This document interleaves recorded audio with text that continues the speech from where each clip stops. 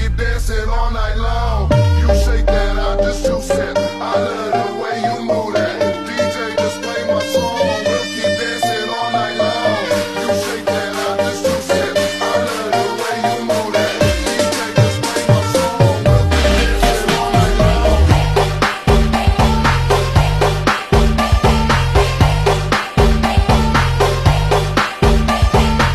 Baik, terima kasih. Kami sedang berada di kantor uh, Konsulat Jenderal Republik Indonesia di Guangzhou bersama His Excellency Bapak Konsul Jenderal sendiri, Bapak Ben Rajat. Terima kasih untuk waktu dan kesempatannya, Pak.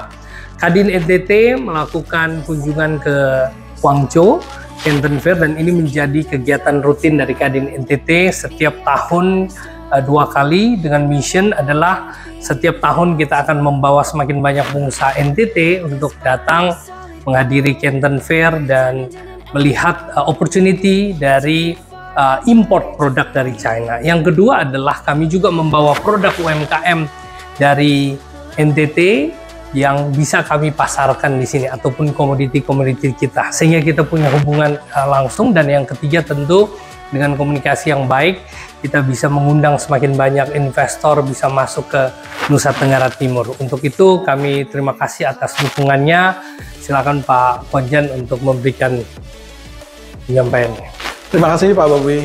Uh, tentunya pertama kali saya mengucapkan selamat datang di Guangzhou dan kami gembira bahwa ada delegasi Kadin NTT di sini ingin mengembangkan hubungan uh, perdagangan dan ekonomi yang lebih baik antara Indonesia dengan uh, Tiongkok, uh, terutama NTT dengan wilayah uh, kami di sini Guangdong dan Guangzhou wilayah selatan Tiongkok yang memang wilayah selatan ini Pak Bobi sangat uh, punya potensi pengembangan kerjasama ekonomi yang sangat besar. Karena uh, produk-produk retail Tiongkok yang banyak beredar di Indonesia itu yang harganya murah-murah itu kebany- bukan banyak hampir semuanya semuanya deh. Pintu itu dari dari, dari sini dari Guangzhou ya.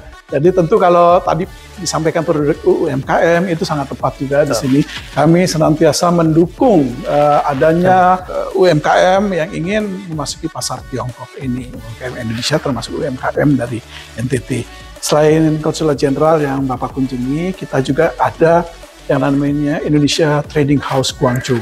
Nah, di situ secara operasional, secara konkret nyata eh, transaksional dilakukan eh, terutama komoditas-komoditas Indonesia untuk memasuki pasar Tiongkok yang eh, kebanyakan memang dilakukan oleh UMKM Indonesia.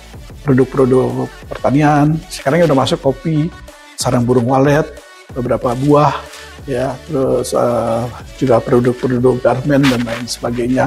Nah, durian mudah-mudahan bisa masuk. Iya. jualan durian menguntungkan pak di Tiongkok Gitu. ya kita belum punya uh, belum ada durian Indonesia yang masuk tapi Ka- karena di sini nggak bisa ditanam. nggak bisa.